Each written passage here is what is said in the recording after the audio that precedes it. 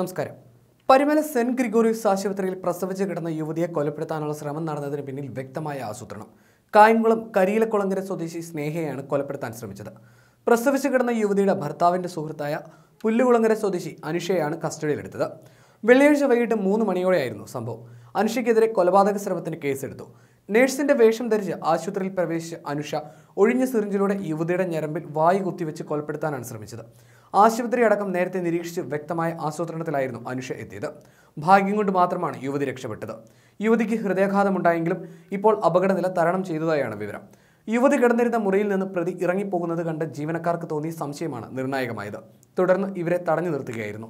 തുടർന്ന് പുളിങ്കീഴ് പോലീസ് എത്തി ഇവരെ കസ്റ്റഡിയിലെടുത്തു. യുവതിയെ ഇല്ലാതാക്കാനാണ് ഇവർ കൊലപാതകത്തിന് ശ്രമിച്ചത്. രക്തധമനികളിൽ വായു കടക്കുന്നതോടെ ഉണ്ടാകുന്ന എയർ എംബോളിസം എന്ന അവസ്ഥ മൂലം ഹൃദയാഘാതം സംഭവിക്കാൻ ഇടയുണ്ട്. ഇത് മനസ്സിലാക്കിയാണ് ഫാർമസിസ്റ്റ് കൂടിയായ യുവതി പദ്ധതി തയ്യാറാക്കിയത്. ഇവരുടെ കയ്യിൽ നിന്നും സിറിഞ്ചും പിടികൂടിയിട്ടുണ്ട്. കേരളത്തിൽ കേട്ടുകേൾവില്ലാത്ത കൊലപാതക ശ്രമമായിരുന്നു പരിമല സെന്റ് ഗ്രിഗോറിയസ് ആശുപത്രിയിൽ നടന്നത്. പോസ്റ്റ്മോർട്ടത്തിൽ പോലും കൊലപാതകം തെളിയിക്കാനാവില്ല എന്നതാണ് ഇതിന്റെ പ്രത്യേകത. സ്നേഹയുടെ ഭർത്താവ് അരുണിന്റെ പെൺ സുഹൃത്താണ് അനുഷ. പ്രസവത്തിന് ശേഷം വിശ്രമിക്കുന്ന സ്നേഹയെ അപായപ്പെടുത്തി ഭർത്താവായ അരുണിനെ സ്വന്തമാക്കുക എന്നതായിരുന്നു അനുഷയുടെ ലക്ഷ്യം എന്നാണ് വിവരം. ഇക്കാര്യം അനുഷ പോലീസിനോട് സമ്മതിച്ചുവെന്നാണ് സൂചന.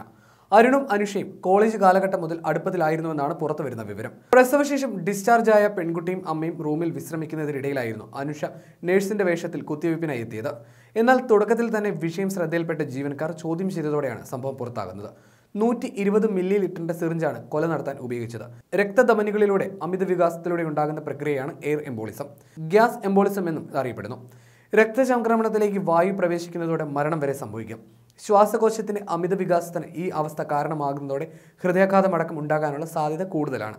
ക്ലിനിക്കൽ നടപടിക്രമങ്ങളിൽ ആകസ്മികമായി ഒരു സിരയിലേക്കോ ധമനിയിലേക്കോ വായു നേരിട്ട് കുത്തിവെക്കാം സിരയിലൂടെയോ ധമനിയിലൂടെയോ വായു കടത്തി വിടുമ്പോഴുണ്ടാകുന്ന ഒരു അപൂർവ സങ്കീർണതയാണ് വെനസ് എയർ എംബോളിസം. കാര്യമായ എംബോളിസം സംഭവിക്കുകയാണെങ്കിൽ ഹൃദയ ശ്വാസകോശം അല്ലെങ്കിൽ കേന്ദ്ര നാഡീവ്യൂഹം എന്നിവയും ബാധിച്ചേക്കാം.